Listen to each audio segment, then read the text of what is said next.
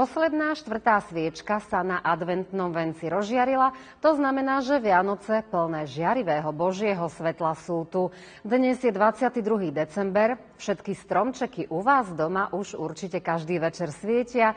Dedom raz iste pripravil darčeky pre tých najmenších, školákom dokonca začínajú zimné prázdniny, ktoré potrvajú až do 14. januára, tak to sú na úvod samé pekné veci. K tomu pridáme ešte pekné príspevky a veríme, že sa s nami najbližšiu hodinku budete cítiť príjemne. Martina Prebudilu a Miroslava Demáka spája určite mnoho vecí, aj pracovných a myslím, že aj súkromných. Čo sa týka spolupráce, vďaka ním a patria k tomu aj ďalší spolupracovníci, v Starej Pazove už mnoho rokov vychádza ročenka Pazovský kalendár.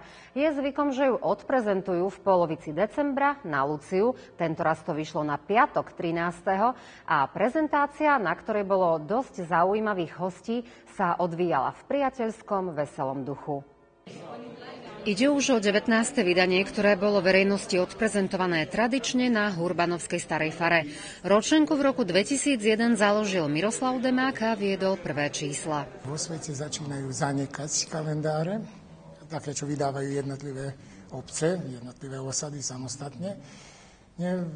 A že pritom je to obrovské kultúrne dedičstvo v nich zachované. Tak som si povedal, že treba nielen študovať to, aj nechávať, zopakovať si niektoré veci z minulosti, ale vydať aj svedectvo o našej súčasnej dobe. Tak to bolo. No to bolo rok 2001, prvý rok nového tisícročia, keď sme vydali, síce v ročenie 2002, ale 2001. Ten, zobral som si e, aj rozhodol som sa ja sám, tedy som navrhol, ujalo sa to, aby mal formát ako aj čabianský kalendár. A nakoniec teraz po, už v dnešnej dobe na celom svete vychádzajú len dva slovenské kalendáre lokálne, a to je oba mimo Slovenska, jeden Bekeskej Čabe, jeden Pazove. Napríklad v Spojených štátoch amerických všetky už zanikli, aj na Slovensku. Všetky zanikli a keď sa teraz otočím na to, čo sme urobili, však v tom je taký obrovský materiál nazbieraný, ktorý by sa možno nikdy nenašiel a nikdy by sa nenašiel tak na jednom mieste, ako teraz, čo sa našiel. My si rok dopredu určíme základnú tému kalendára, čo je, je väčšina príspevkov. Samozrejme, nemôže byť celé. Sú veci, ktoré vznikajú úplne nové. A tým sme aj jedineční. Taký kalendár nikde nie je. A to si mnohí oceňujú, že že sú nám v podstate, akože monotematický je základný blok každého kalendára. A tak som to ja stanovil na začiatku a Martin to veľmi striktne dodržiava. Máte možno pre našich divákov nejaké želanie alebo pozdrav do nového roka? Pre pazovských divákov? No dobre, ja ich chcem potešiť jednou správou. No všetkým želám pevné zdravie, dobré medziľudské vzťahy, ktoré sú strašne dôležité, mimoriadne sú dôležité veľkú toleranciu jedných k druhým, pozitívne myslenie a jedna potešujúca správa, že prvýkrát od, odkedy existujú literárne porady a literárne snemovania, dohodol som sa s pánom Valentíkom aj so Zdenkou Valentou Beliťou, že na budúci rok literárne snemovanie bude prvýkrát v Starej Pazove a bude venované samozrejme dráme. Po Miroslavovi Demákovi úlohu hlavného redaktora prevzal Martin Prebudila, ktorý má každoročne okolo 20 spolupracovníkov. Tento pazovský kalendár ako ročenka má veľký význam pre e, pazovských Slovákov a nie len pre pazovčanov, ale aj oveľa širšie, e, lebo e, po rokoch kalendár si našiel cestu aj do zahraničia, na Slovensko, po celej Vojvodine, Padina Kovačica, aj Bačský Petrovický Sáč. Je veľký dopyt po, tomto, po tejto publikácii a veríme, že vydržíme aspoň ešte jeden ročník, aby sme to zaokurili na tých 20 rokov. A ako ste sa cítili v tých začiatkoch, keď ste to prevzali po Demákovi? Bola to, je to ťažká práca vlastne celý rok na tom priebežne pracovať? tak e, nakoľko sa pamätám, po prvom vydaní, po prvom ročníku prakticky ani sám zakladateľ Miroslav Demák a spolu my s ním sme neverili, že budeme v tom pokračovať, že vydržíme ešte 2-3 roky. Medzi tým potom uh, už o ten štvrtý ročník a dodnes teda celých 15 rokov Spolupracujeme s vydavateľom a tlačiarom Saupu Starej Pazove. Keď ide o tú celú organizáciu, sám ja alebo ani Miro Demak by to nezvládol. Vďační sme, že máme celú sieť e, spolupracovníkov a to nie len odtiaľto zo Starej Pazovy, ale aj z Nového Sadu, Petrovca. Často nám prispieval aj Jan Jančovič z Nitry, Jan Botík z Bratislavy, E, z Maďarska sme mali tiež Imro Fúhl a až sme mali aj Ľubomíra Fioldeka ako spolupracovníka. Milan Lechan e, z Martina zo Žiriny je pravidelný z jeho epigramy. Máme celú sieť domácich spolupracovníkov s Bardom, Doajenom, športového novinárstva, Macom Zovským, ktorý aj tento raz prispel až 7-stranovým takým prehľadom 200-250 ročného pazovského športu. Jedným z mnohých spolupracovníkov je aj Jan Filip, rodák zo Starej Pazovy, ktorý od 90. rokov žije na Slovensku. Tohto roku je a, také moje životné jubileum, a, tak a, po storočnici obnovených Petrovských slávností a jednu časť novinársku venovali aj mne a, za celoživotné novinárske dielo, tak v, pazovskom kalendári v Ročenke je príspevok o, o tom, čo som robil pol pracovného života tu a dru, aj o druhej polovici, ktorú som robil na Slovensku. A keďže som vo veľkom prispel okrem a, novinárskej spolupráce ešte od Aurory cez všetky m, tlačiva, ktoré tu na vychádzali, a podporoval som morálne aj inak aj ročenku Pazovský kalendár, ktorý je vlastne jedinečným vo svete, že takáto malá lokalita dokáže robiť takú krásnu kroniku. No a keďže som chcel prispieť budovaniu mostov medzi Slovenskom a Srbskom, tak vďaka a môjmu vzácnemu priateľovi starostovi z obci Bela pri Žiline sme nadviazali spoluprácu so Starou Pazovou a po vlanejšom veľmi úspešnom prezentovaní celej obce Stará Pazova v Bratislave na Slovensku a s e, poženaním vedenia obce, ktoré malo veľké pochopenie a, a prijalo iniciatívu, aby aj zo severu, na severe Slovenska sa mohla obec Stará Pazova prezentovať. A reportáž z, z dní Starej Pazovy v Žiline a v Belej na severe Slovenska nájdu čitatelia Pazovského kalendára. Okrem Pazovského kalendára bol publiku predstavený aj slovenský svetový kalendár, ktorý vydáva Slovenské vydavateľské centrum v Báčskom Petrovci. Prvá veta v úvodníku hovorí o tom, že slovenský svetový kalendár už viac nie je novinkou poznajú od Austrálie po Argentínu, cez Spojené štáty americké, Severnú Karolínu, Kanadu, od Toronto po Vancouver, e, takmer všetkých e, európskych krajinách, Libanone, na Cypre a tak ďalej, všade, kde existujú slovenské komunity.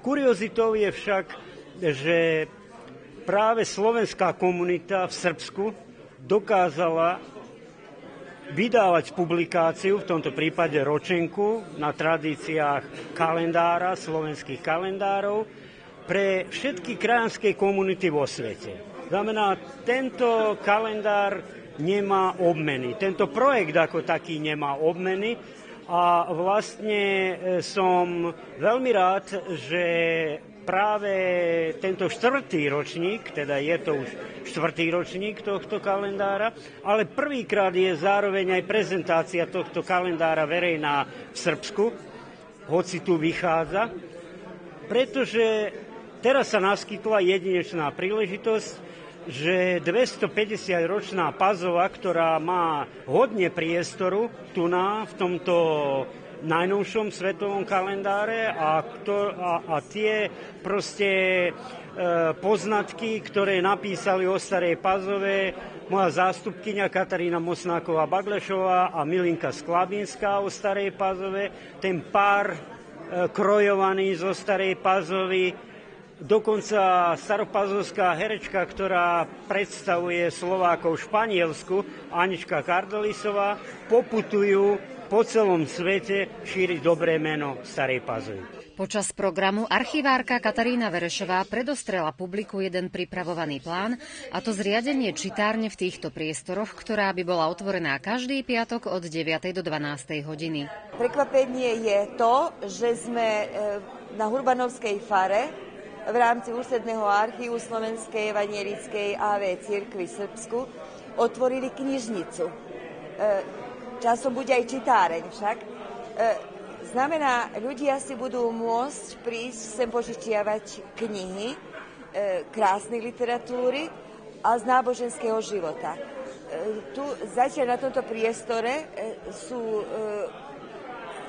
vystavené knihy náboženské, aj próza, slovenská, ale máme tiež aj v Srbčine, ktoré by tiež mohli zaujať našich čitateľov. Prečo sme sa vlastne na to rozhodli? Práve preto, že e, v poslednú dobu ľudia málo čítajú knihy. Prepašte, vy ste z televízie, ale ľudia sú obťažení kadejakými programami, e, vrátene aj s takými seriálmi, e, ktoré vyvolávajú nepokoj v ľudských dušiach. E, kniha nikdy to nerobí, lebo ona e, zošľachťuje ľudskú dušu. A keď si ľudia, zvlášť my, ktorí starší vieme, keď si prečítame knihu najmä pred spánkom, tak máme krajšie aj sny. Ľudia sú naozaj obťažení. To už um, tá apatia, tá beznádej vošla do ľudí. Na uliciach ľudia sú bez úsmevov, e, bez východiskovej situácie. A človek je rozhľadenejší, spokojnejší je, keď číta. Ja som o tom teraz dnes hovorila, lebo sama vidím, najmä tí ľudia, ktorí nechodievajú do kostola, ktorí sú, si nechodia okriať dušu a vyvolať si nádej, nielen v tom, ale aj v, v tuzemskom živote, aby si obľahčili svoju psychu. E, tiež aj kniha e, e, k tomu prispieva. Najmä náboženská literatúra. Bodku za programom dali členovia Združenia vinárov a vinohradníkov zo Starej Pazovy, ktorí prítomných pozvali na degustáciu vína. Vidím, že to víno, čo držíte v ruke, má takú zaujímavú farbu. Čo to pijete? To je víno roze, rúžové víno a nie je moje, ja mám e, červené, tmavé červené, ale ochutnávame druhé víno, aby sme vedeli, kto aké má. Zastúpení sme z nášho združenia vinárov, znamená, každý sme ako ochotne dali prispieť k tomu, že by sme zaliali ten kalendár, aby plával pekne po Pazove aj po celom svete. Pazovský kalendár bol teda týmto podujatím oficiálne uvedený do našej spoločnosti, stojí 450 dinárov a zaobstarať si ho môžete napríklad v predajni Saupo, na evanielickej fare alebo priamo u redaktora.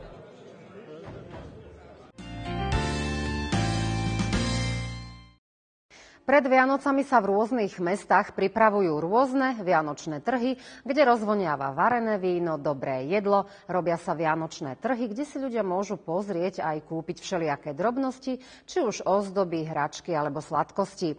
Aj u nás v Pazove sa konalo niekoľko vianočných bazárov. Minulý týždeň sme sa pozreli na vianočný bazár do spolku hrdinu Janka Čmelíka a podobná akcia sa konala aj na Evanielickej fare. Ak ste tam boli, viete, že atmosféra bola super a ak ste tam neboli, pozývame vás teraz pozrieť sa tam cez objektív kamery.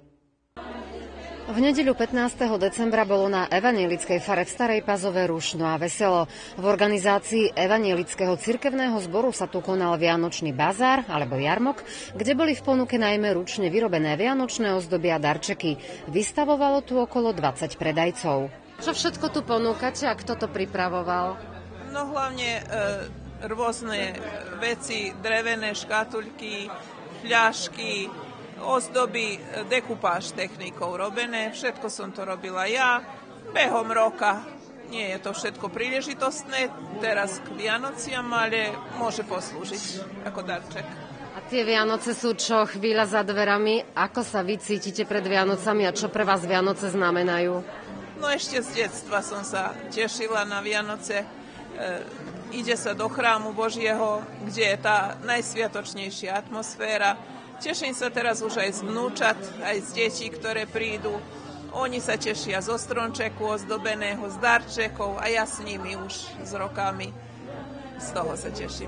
Predávam e, pohľadnice, svieč, sviečky, e, nejaké tu oko ozdoby. ozdoby pre Vianoce a tu sme pripravili ja, brat a kamarátky. A čo pre teba znamenajú Vianoce? Že sa radujeme, aj ozdobujeme dom, aj tak. Tešíš sa aj na darčeky? Čo by si si želala pod stromčekom? Áno, teším sa, neviem, čo chcem. Prišiel som s zemičkou a aj tu predávam. Ako sa tu, ako sa tu cítiš? Super, dobre. A ide ten predaj, ľudia si kupujú veci? Áno. Čo by si chcel dostať na Vianoce? Neviem, nejaký Lego. Vianoce pre mňa znamenajú to, že e, tá nejaká atmosféra vianočná, že sme spolu všetci, rodina a deti sa tešia z tých maličkostí, aj darčokov, aj v tom, ja, v tom ja myslím aj, že sú Vianoce v rodine. A ponúkame tu takých e, snehuliačikov a ozdoby na jedličku, ktoré som ja s mojima deťma spracovala. E, najprv to počalo 1, 2, 3 za nás a potom naraz čo budeme s nima a nak sa prihlásime aj na bazár. Tak je to tu sme teraz. Ponúkame všelijaké ozdoby, všelijaké magnetky, okrasy a nakreslenie sú pazovské obyčaje a vianočné ozdoby. Kto to pripravoval? Niečo som aj ja, ale veľkú väčšinu moja mama. Ako sa tu cítite? Veľmi pekne. A čo pre vás znamenajú Vianoce? Pre mňa je to najkrajší sviatok. Okrem početných predajcov sa tu stretlo aj mnoho návštevníkov, niektorí sa zdržali krátko, pozreli si ponuku a mnohí si niečo aj kúpili, niektorí sa zdržali dlhšie, aby si v príjemnej atmosfére spolu posedeli a podebatovali. Také je tu krásne posedenie. Čo ste si tu dali? Čím ste sa občerstvili a ako sa tu cítite? Pekne sa cítim ako doma. Sme si dali čajík, koláče. Prišli sme podporiť trošku. Čo pre vás znamenajú Vianoce? Krásne. Krásne, ledva čakáme Vianoce. Prišli sme vidieť, išli sme pozrieť, čo sa tu pripravilo. Aj sme si prišli popiť čajík, aj koláča zjesť, aj troška dáme do kasičky tam tým deťom, čo im je potrebné. Aj tak, tak si skrátime čas. Tu je veľmi krásne, keď sme medzi mládežou. Tu, tu, tu môžeme ostať aj do polnoci. Takže sa do 6. drží aj dobre. Prekývnajú. Ako vy doma oslavujete Vianoce a čo pre vás znamenajú Vianoce? Vianoce za mňa znamenajú veľmi veľa. Doma oslavujeme veľmi krásne, ale za mňa veľmi znamenajú Vianoce, že idem do kostola. To mi je naj, naj, najvlastnejšie. Doma je to jedenie picie, ale to je darmo. Všetko, ak nemáš srdci, im to nič. Vianoce sa oslavujú. Ni s jedením i s picím ale s láskou Božou. Dnes som si zobrala medovníkový domček, ktorý sa mi veľmi páčil. A je to pre vás alebo pre niekoho? Pre mňa, pre mňa áno. Povedzte, stromčok. Ako oslavujete Vianoce? Čo pre vás znamenajú Vianoce? Pre nás Vianoce znamenajú veľký sviatok, aj oslavujeme s rodinou doma. Aj výťažok z predaja z vianočného občerstvenia bude jedným dielom, ktorý sa použije na humanitárne účely. Keďže sa bazár konal na evanielickej fare, stretli sme tu aj pána farára. Ja som tu náhodou, práve sme prišli z večierne a v podstate naši mládežníci a volontéri predávajú e, cirkevnú klasickú literatúru, kalendáre, CDčka, spevníky, Biblie, veľa Biblií máme zdarma, najmä detské, potom e, tie také gideonské maličké do, do vačku a podobne. No, aj okres. Aký je cieľ tohto bazára? No cieľ je veľa ich cieľov. Ten najväčší cieľ je šíriť lásku, šíriť dobrotu, šíriť my to v cirkvi pojeme Božiu slávu medzi nami, alebo kráľovstvo Božie, kde vládnu tie hodnoty, ktoré sú najvyššie, najväčšie, nadovšetko láska. E, Pán Ježiš prišiel medzi nás ako Boží dar preto si aj darúvame darčeky na Vianoce a tieto všelijaké veci sa tu môžu kúpiť aj ako e, dary, ale aj ako ozdoby pre, pre Vianoce. A čo ešte zaujímavosťou, ešte jeden cieľ je, že vlastne podporujeme e, dve chudobné deti v Kenii, v Afrike, ktoré cez túto podporu našu z koncertov a 10% z toho, čo sa tu na vypredá, tak vlastne môžu jeden celý rok žiť e, život dôstojný človeka. Teda ukazujeme aj našim ľuďom, že e, sú o mnoho ľudia chudobnejší a horších podmienkach, v akých sme my, aj na inom kontinente, čo neznamená, že zanedbávame a nesnažíme sa pomôcť, koľko je našej moci aj ľuďom, ktorí sú v núdzi v našom prostredí. Vianoce sú pred dverami, priatelia, šťastné a veselé.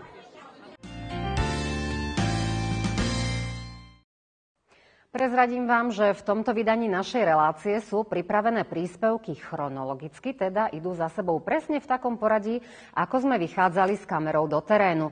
Z evanielickej fary sa náš kameraman presunul do priestorov divadla, kde sa v nedeľu večer otváral memoriál Juraja Ondríka. V nedeľu večer členovia literárnej odbočky Ľudmily Hurbanovej, ktorí pracujú pri kultúrno-omeleckom spolku hrdinu Janka Čmelíka a osvedčení úspešní recitátori prispeli svojim programom k otváraniu memoriálu Juraja Ondríka. Ako aj každý rok, tak aj v tomto roku literárna odbočka sa zapojuje práve do oslav memoriála Juraja Ondríka. V podstate preto, že Juraj Ondrík bol všestranná osobnosť, medzi iným bol aj spisovateľ, literát, e, recitátor.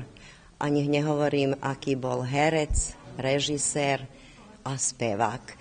Teda taká jedna všestranná osobnosť považujem, e, že si zaslúži, aby sme sa aj krásnym slovom pripojili a prihovorili aj tentokrát v tomto roku práve Jurajovi Ondríkovi, ktorý nie je medzi nami a tiež aj všetkým tým milovníkom krásneho slova. Koľko momentálne je recitátorov v Pazove, ktorí hovoria verše po slovensky, s ktorými ty pracuješ, alebo v škole vôbec v tejto chvíli, koľky sú tu zoskupení? Momentálne sú tu šiesti. E, môžem povedať, že taký náš tým slovenský, ktorý sa zúčastnil na obecnej prehliadke, potom aj na oblastnej a pokrajinskej, aj republikovej súťaži, bol takých no, možno 9-10 členy. E, teda možno každá učiteľka pracovala s tromi žiakmi. A ty, Macko, ticho seď, oblečím ťa hneď. Teraz pekne po poriadku uvaríme kašu sladkú. Staň si sem, na samý kraj, na mliečko mi pozor daj. Pred jedením člipky, čľapky umieme obe lapky a potom ich do sucha uteráčik vyšúcha. Tak, strapánik chlpatý, Nekvapni si naša ty, už ťa obed očakáva. Cukrík, koláč, biela káva. Ako sa ponáhľa padá jej na očka zo žltých vrkočov, červená čiapočka. Hory sa nebojí, smela už odmala, spieva si cestičkou, ktorou sa pobrala. Kýčera, kýčera, Nedávaj večera, kým moja ručička jahodok nazbiera. Nedávaj večera, pozhovej trošičku, dokiaľ mi vychladnú koláče v košíčku. Program pokračoval divadelným predstavením divadla Dobrica Milutinovič zo Sriemskej Mitrovice, a to komédiou Sriem náš dom, v ktorom si zahral, a to hneď v štvor úlohe, herec Vladimír Balašťák. Ide o monodrámu, ktorá hovorí o mentalite národa žijúceho v Srieme. Srem naša kuća je priča svi u nas, to slobodno mogu da kažem, isprepletena sa komičnim situacijama iz života Sremaca. E, ja sam napisao taj tekst slušajući istinite priče, pa sam malo na te istinite priče Kalemiju dodavao nekog svog humora. I premijera predstave u režiji Dragana Jovičića po tekstu mom je bila 2012. godine. Znači od 2012. evo sad još malo je 2020. predstava se na moju sreću i radost evo neprekidno igra.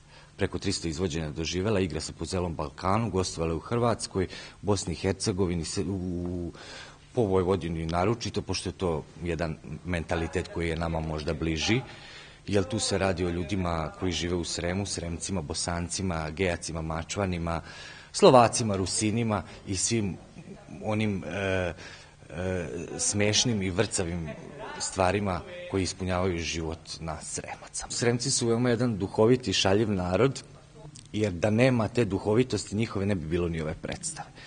Jedan moj kolega stariji je rekao da je ova predstava saga o Sremu i on je to onako fino dešifrovao i okarakterisao, jer ovaj, sve ono prepuno humora i vrlo ozbiljnih dramskih momenata. Sve to protkano duhovitošću, šaljivošću, sa bećarcima i publika voli ovu predstavu što je najvažnije u celoj priči, jer ne bi toliko godina trajala da je publika ne voli. Tento herec je staropazovskému publiku známy, pretože hrá aj v predstavení Tam ďaleko, ktoré režíruje náš známy režisér Miroslav Benka.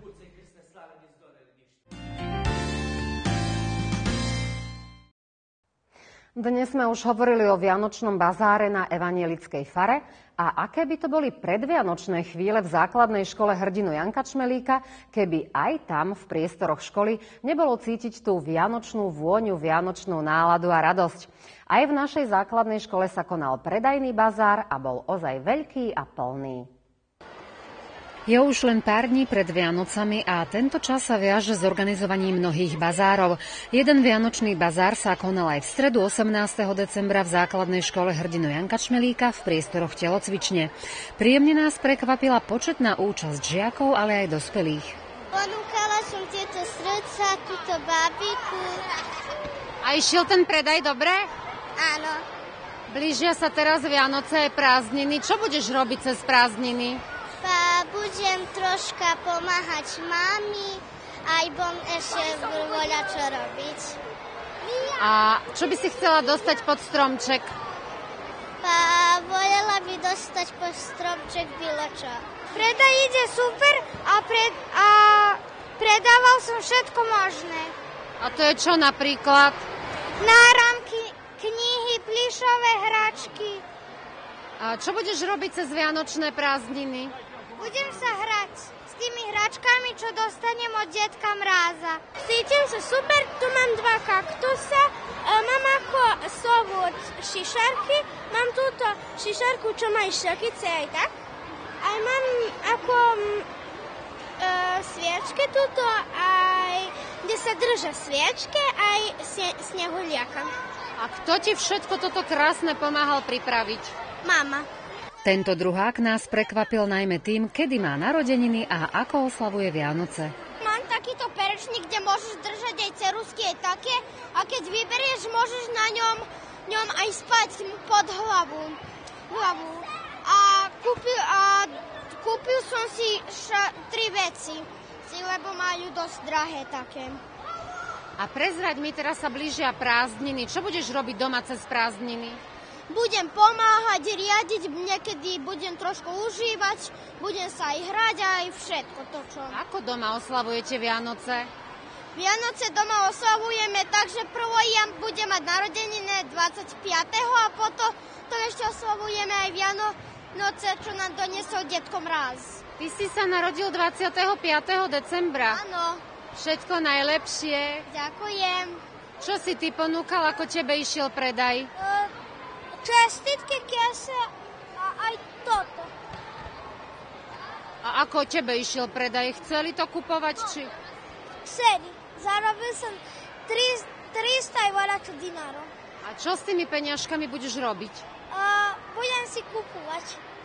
Ako ty oslavuješ doma Vianoce? Uh, palím vatromet. Školákov prišli podporiť aj dospelí a v týchto priestoroch sa ich zišlo veru dosť. Čo to všetko ponúkate? Je to krásne. Kto to pripravoval? Ja aj moji chlapci doveda spolu sme robili uh, uh, jelena aj toto snehuliačika. Krásni sú. Čo všetko ste na to potrebovali? Ako dlho vám trvá, kým vyrobíte jedného? Pa nije dlho, zato že Adam už sam zvykla, pa hitrejšie ide. Ali všetko sa šije i lijepi. Cítim sa dobre a ponúkam hračky, knihy aj ozdoby pre jedličku. Kto, všet, kto ti pomáhal toto všetko pripravovať? Sám, alebo si mal pomocníka? Sám som pripravoval. Teraz sa blížia zimné prázdniny. Ako budeš tráviť prázdniny? Budem tráviť prázdniny na trhu. A ešte mi prezrať, ako doma oslavujete Vianoce. A čo by si chcel dostať pod stromček? Uh, pod stromček by som chcel peniaze a oslavovali by sme tak, že by sme išli k babke a detkovej na polenia. Ja som piatý ročník a aj tu ponúkam všelijaké hry, stripy, aj tak. A povedz mi, čo máš najdrahšie a čo najlacnejšie? Najdrahšie Monopol tu a najlacnejšie možno tento strip alebo takéto nejaké. Ako ty budeš stráviť prázdniny? Čo budeš robiť cez prázdniny? Pa, e, ja budem stráviť prázdniny so svojou rodinou, so svojimi najmilšíma. Aj tak budeme, budeme všetci na budeme všetci tu spolu v rodine. Čo všetko tu ponúkaš, ako tebe ide predaj? Pa neđe mi niečo dobre, malo ľudí tu toka dochádza. Evo, mám nejaké hračky ešte. A nejde niečo dobre predaj. Pa. A chcete, kúpte jednu, nek máte na pamiatku, že ste boli v Staré Pazove. A ty si dobrý obchodník, keď hneď ponúkaš. Prezrať nám, ako budeš stráviť zimné prázdniny zimne prázdniny, pa môže byť bom niekde tam v Dedžine, niekde v Srbsku, niekom v Pazove. Môže byť pretravím za počítačom, mobilom, za telkom. Môže byť bom všetko svojho psa Mimi. Ako by, čo by si chcel dostať pod Vianočný stromček? Pa, ja by nič nechcel. Chcel by chcel by jesť niektoré ako sladkosti, stvarno veľa jesť sladkosti teraz. E, keď som bol malý, som veľa nejedol sladkosti, teraz veľa volim sladkosti. A isto volio by odísť troška do úšťa. Žiaci okrem svojich hračiek, kníh a iných drobností predávali aj svoje ručne vyrobené veci, aj tie, ktoré pripravili doma, aj tie, ktoré vznikli na vyučovaní v rámci projektovej výučby. Na škole, keďže je toto najsviatočnejšie obdobie v roku, e, rozhodli sme sa, aby sme ešte sviatočnejšie urobili aj niečo pekné aj pre deti, aj pre rodičov, aj pre všetkých nás, že by bolo v škole E, krásne, takže sme spolu, e, znamená, keďže máme tú projektnú e, výučbu, znamená výuku. Na hodinách sme potom spoločne s deťmi, s rodičmi, to znamená, sme robili rôzne ozdoby, aj e, tie ozdoby žiaci na tomto bazáre aj predávali. Znamená, aby sme spojili praxu, aj znamená to, čo sa v škole učíme konkrétne, že by sme tu znamená, urobili, ukázali všetkým, čo naša škola robí a ako sa v škole zabávame a ako nám je pekne. A v krátkosti, ako by ste zhodnotili atmosféru? Myslím, že sa všetci e, dobre zabávajú, znamená, žiaci sú spokojní, rodičia tak, taktiež, e, to mnoho, mnohí nás prišli navštíviť a myslím, že sa nám to podarilo, že bolo výborné. Že atmosféra presne taká, ako mala byť. Žiakom od zajtra začínajú vianočné a zimné prázdniny, ktoré potrvajú do 14. januára a od 15. sa školáci vrátia do svojich hlavíc. Všetkým týmto krásnym rozžiareným tváričkám želáme šťastné a veselé Vianoce.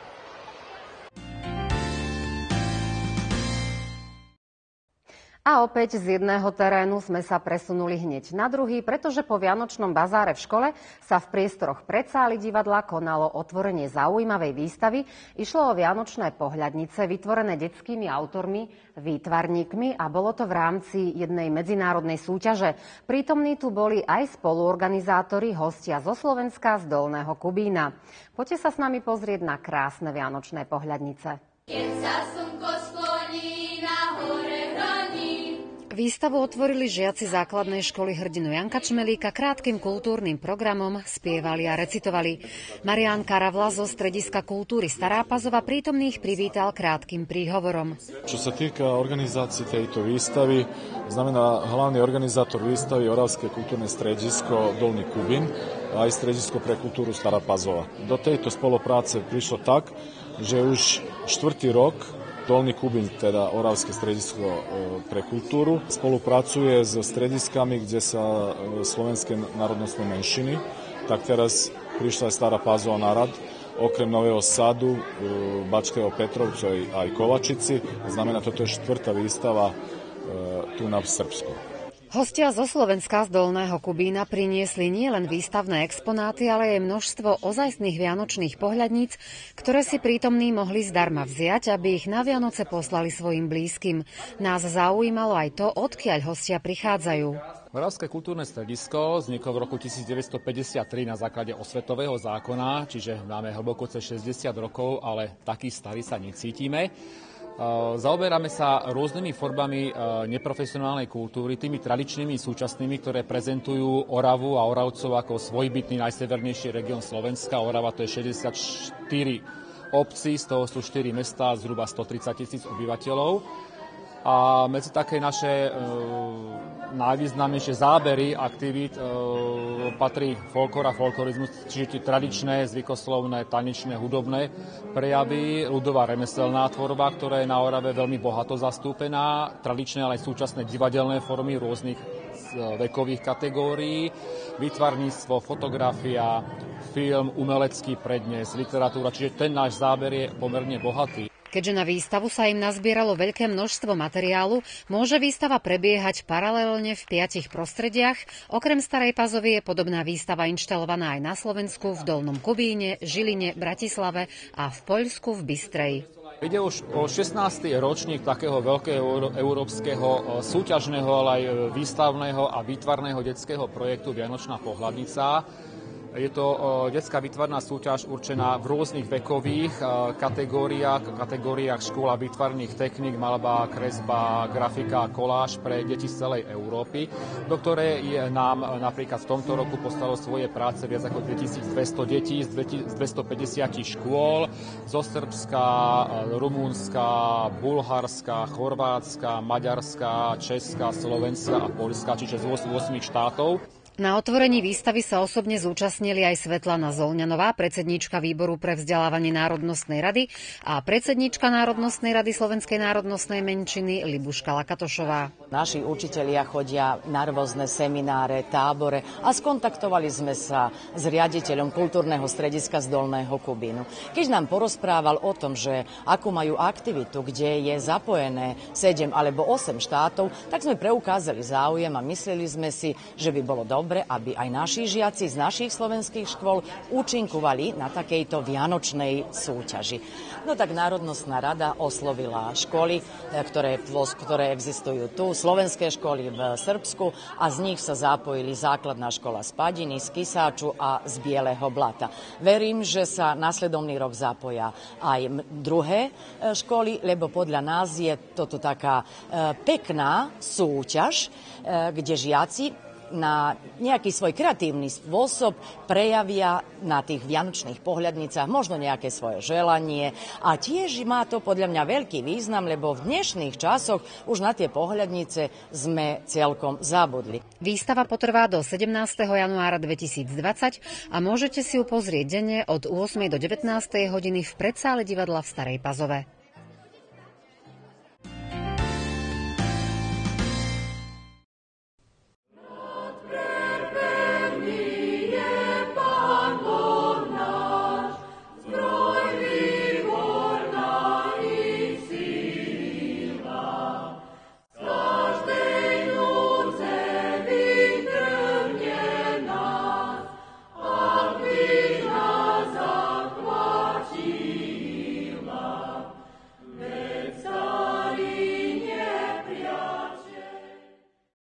Bratia a sestry, srdečne vás zdravím v sledovaní relácie Hrad prepevný. Ako táto jedlička pri mne svedčí, dnes máme slávnostnú reláciu, v ktorej chceme si pripomenúť na ten pre nás kresťanov najdôležitejší príbeh z dejín spásy, keď Boh prišiel medzi nás v osobe dieťaťa, keď prišiel do našej ľudskej biedy, keď prišiel do našej chudoby, do všetkého toho, čo je pominuteľné, čo je ohraničené, čo je poznačené hriechom. Ale predsa zostal čistý. Zostalo to dieťatko dokonalé.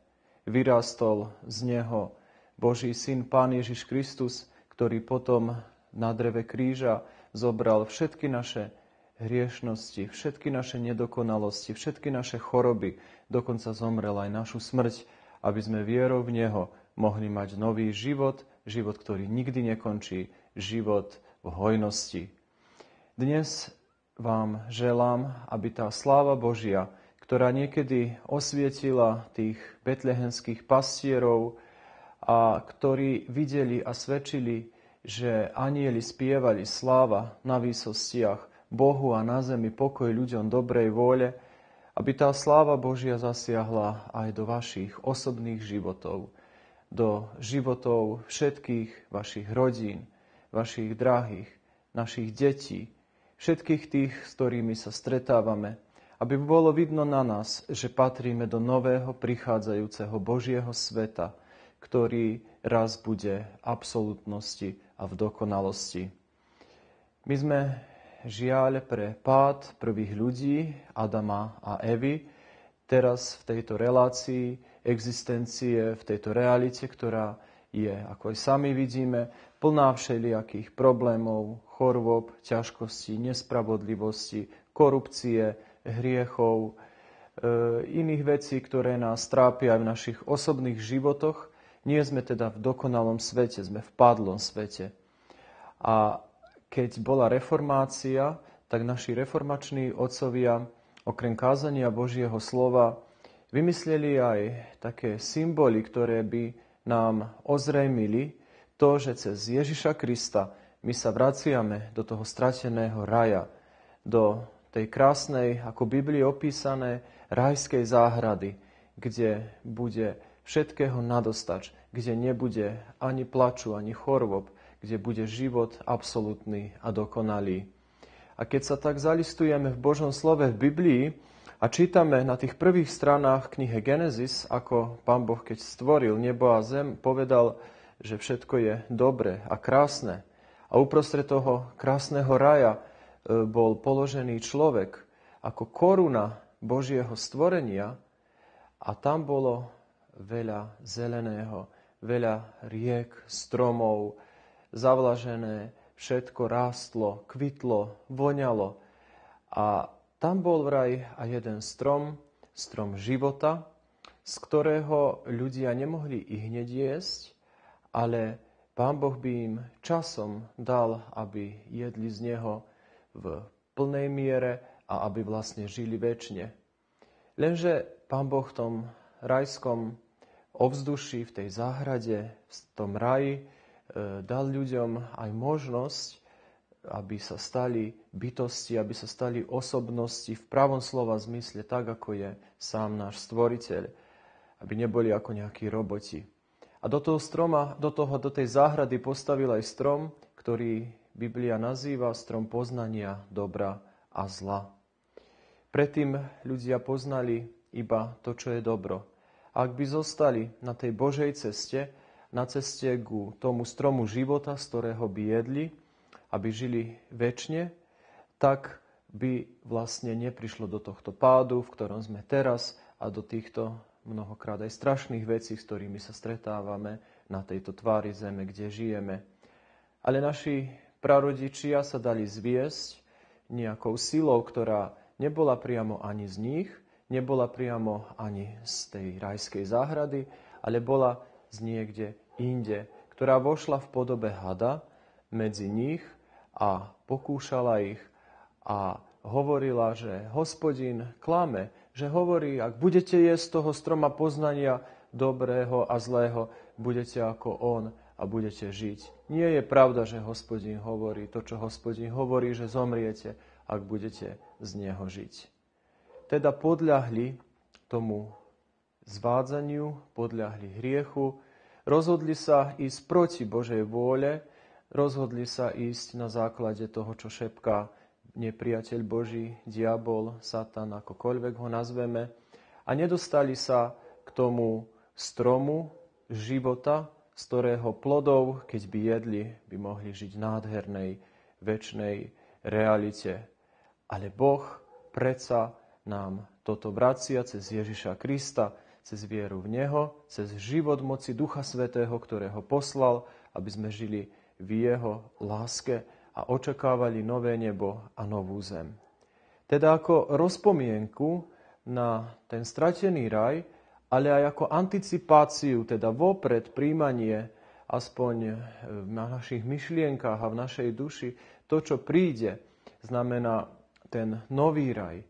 Máme a ozdobujeme v našich kresťanských domácnostiach strončeky a na nich sú všelijaké krásne ozdoby, ktoré symbolizujú krásu, harmóniu, či už toho strateného raja, kde bol ten strom života, alebo toho raja, ktorý prichádza, ktorý nám vydobil svojim dielom, smrťou a vzkriesením náš Spasiteľ Pán Ježiš Kristus. Ako vidíme na mnohých našich strončekoch je aj hviezda. Hviezda je starý kresťanský symbol, ktorý symbolizuje narodeného Spasiteľa Pána Ježiša Krista, lebo v Biblii čítame, že keď sa on narodil, tak bola jedna hviezda, ktorá dokonca mala zvláštnu úlohu, aby viedla mudrcov od východu na miesto, kde sa Pán Ježiš Kristus narodil. Na niektorých našich kresťanských kostoloch, okrem základného kresťanského symbolu, ktorým je kríž, sa nachádzajú práve aj hviezdy, ktoré nám ukazujú, že tak, ako tá hviezda betlehenská zastala na tom mieste, pod ktorým bol Pán Ježiš narodený a tam sa on nachádzal, tak aj v tom chráme je pod tou hviezdou tiež Pán Ježiš Kristus.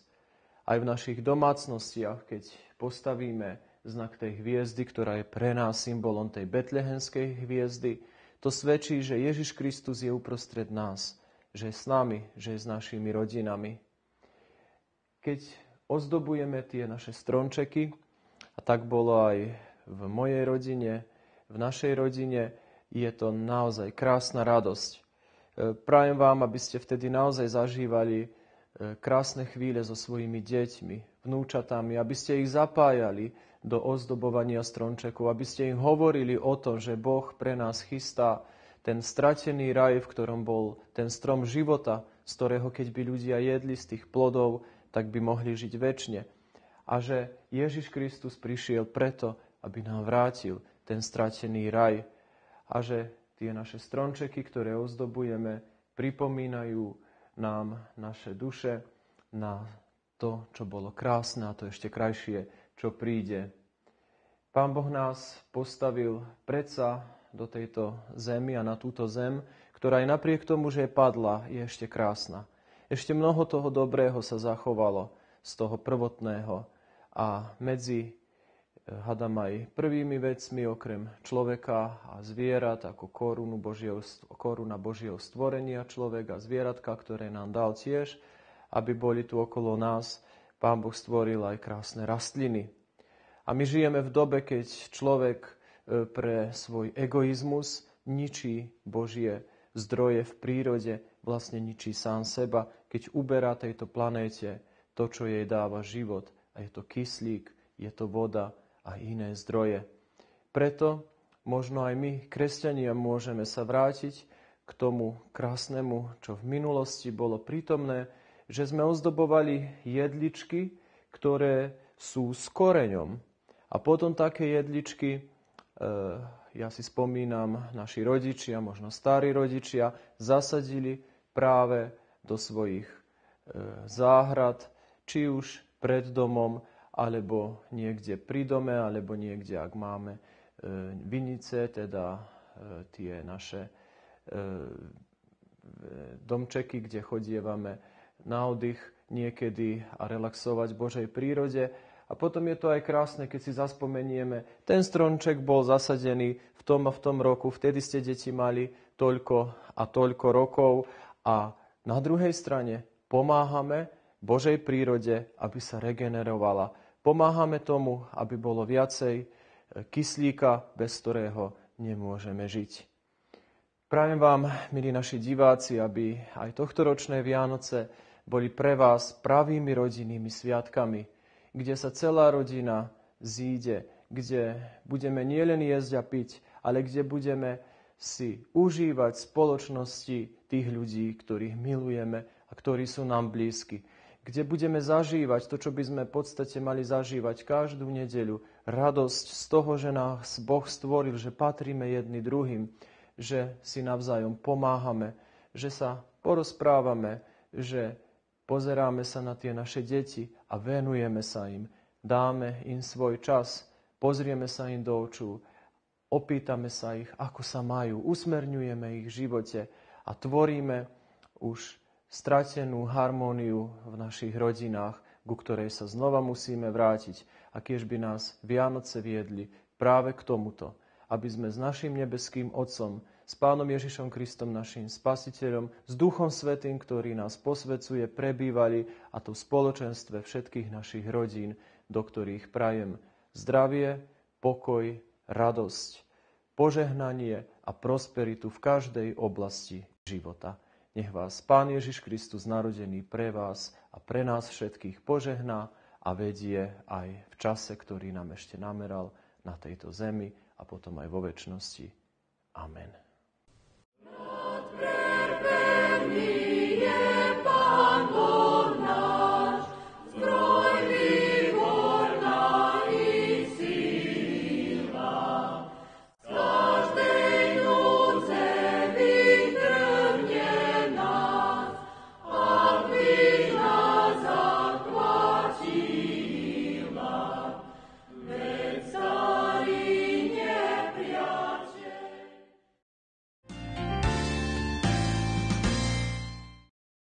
Milí diváci, vyčerpali sme už dnešný balíček príspevkov. My vám ďakujeme, že ste nás sledovali a dovolte ešte, aby som vám pripomenula harmonogram služieb Božích počas Vianočných sviatkov v Evanielickom kostole. V útorok 24. decembra, štedrý večer, budú služby Božie o 18. hodine. Na prvý Vianočný sviatok 25. decembra začínajú služby o 10. hodine a na druhý sviatok Vianočný, na Štefana, začínajú rovnako o 10. hodine. Skôr ako vypneme kamery a zložím si tento malý mikrofón, chcem vám v mene celej redakcie RTV Stará Pazova zaželať krásne, šťastné a veselé Vianoce, prežite ich v kruhu rodiny, vo svojich teplých útulných domovoch, s radosťou v srdci a nech tie svetielka, ktoré žiaria na všetkých vašich stromčekoch a sviečkach, tak nech sa premenia na radostné svetielka v našich očiach, aby sme sa na svet pozerali optimisticky s nádejou a láskou k všetkým a k všetkému okolo nás. Krásny deň vám želám a šťastné a veselé Vianoce.